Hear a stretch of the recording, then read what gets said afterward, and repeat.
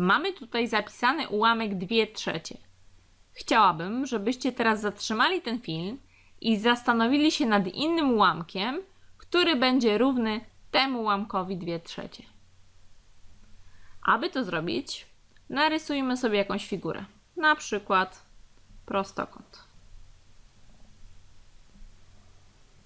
Aby zaznaczyć ułamek 2 trzecie w prostokącie, musimy podzielić go na trzy równe części. Pamiętajcie, że ja robię rysunki odręcznie, w związku z tym mogą być niedokładne, ale zakładamy, że to jest prostokąt i mamy trzy równe części.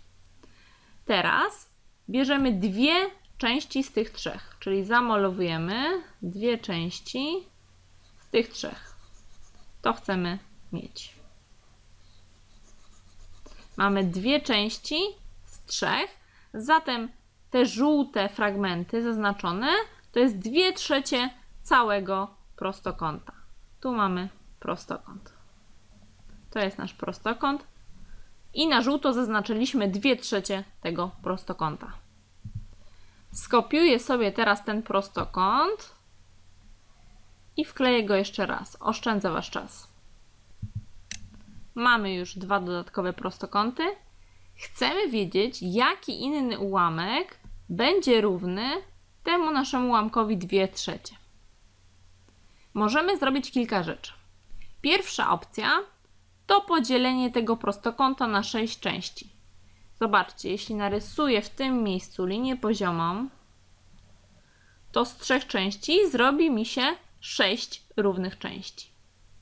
Zamalowane są teraz 4 części. Tu mamy 6 części i zamalowano teraz 4 części, czyli zamalowaliśmy 4 szóste tego prostokąta. W takim razie widać, że 2 trzecie jest równe ułamkowi 4 szóste. Spójrzmy jeszcze na ten prostokąt. Co tutaj możemy zrobić?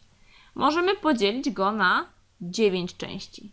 Zobaczcie, jeśli narysuję linię poziomą w tym miejscu i w tym miejscu, zakładamy, że każda z tych części jest taka sama, jest równa. Pamiętajcie, żeby mówić o ułamkach, musimy mieć równe części.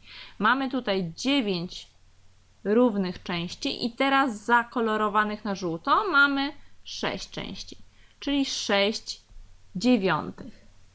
Zwróć uwagę, że wszystkie te trzy ułamki są równe.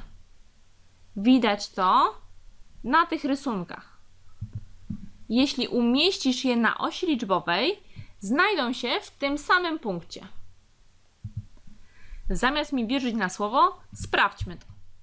Narysuję oś liczbową tu mamy 0, tu mamy 1. Najpierw podzielmy tę oś na trzy części. Jedna część, druga część i trzecia część.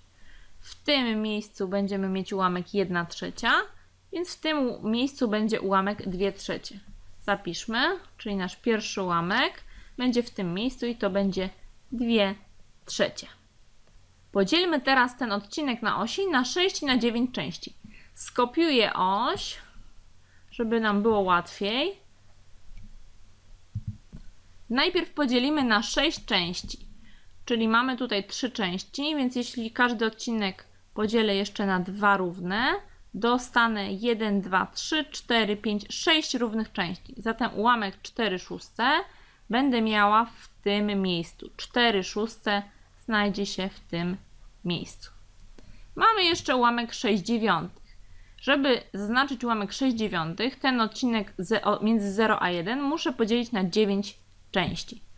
Aby to zrobić, każdy z tych odcinków podzielę jeszcze na 3.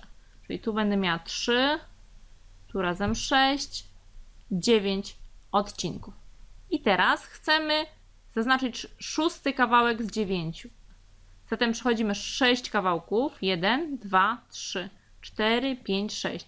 Zatem w tym miejscu jest ułamek 6 dziewiątych. Zobaczcie, na osi liczbowej wyszło nam tak samo. 2 trzecie to jest to samo co 4 szóste i to jest to samo co 6 dziewiątych.